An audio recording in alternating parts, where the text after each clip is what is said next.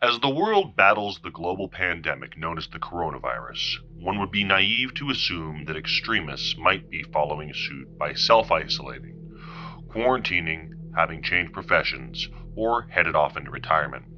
There is nothing that can alter the dark hearted, one track mindset of jihadists and their supporters that continue to threaten community cohesion and peaceful coexistence. Terrorist sympathizers have, over decades, successfully formed a transnational online community of like minded individuals. Their motive is to incite hatred and violence against other religious denominations by festering an environment wherein those they hate are dehumanized in a manner that can justify or condone their oppression. Over the last few months, Bayat Al Ghadeer has uncovered the hidden face of one particular extremist by the name of Hooman al Abbasi, aka Hassan Shimrani, a German national from Hamburg who resides in London, UK. Hooman Abbasi is an active blogger, influencer, and a celebrity of sorts amongst his circle, appearing on various social media platforms.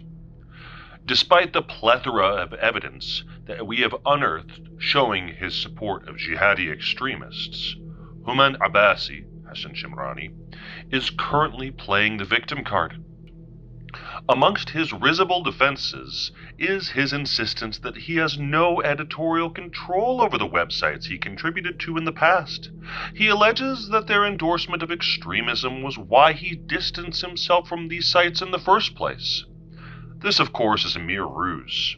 We shall know further evidence how terrorist sympathizers like Hooman are merely putting up a charade for the public.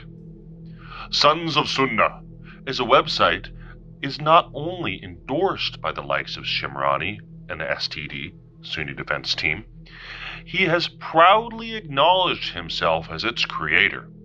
On this very site, Shimrani identified six terrorist groups as Sunni militia groups operating in and out of Iran. Let's take a look at who these groups are. Harakat Ansar Irani.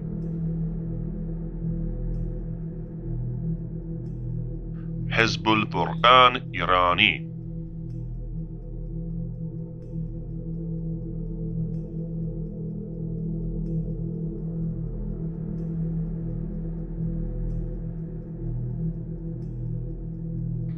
Ansar al-Furqan, Sepa-i Sahaba İraniye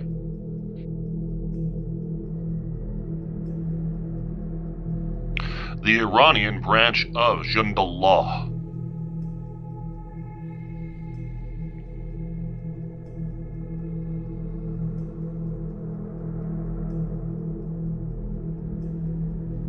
Jaish al-Adl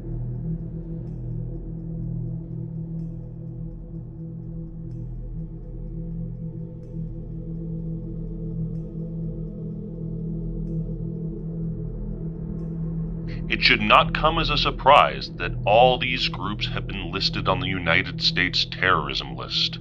Despite this, Shimrani is in awe of them. He praises their killing of Iranian guards on the premise that they may harm Sunnis in the future, a preemptive strike to prevent something occurring in the future.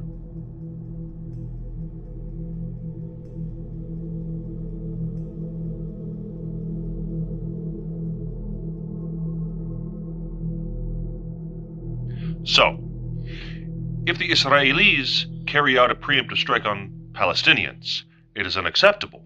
But when Shimrani's jihadist terrorist freedom fighters do that, it is justified. This is the reality of Shimrani and his likes. He is an extremist that supports and defends the activities of several banned and listed terrorist organizations an undeniable fact that he cannot divorce himself from.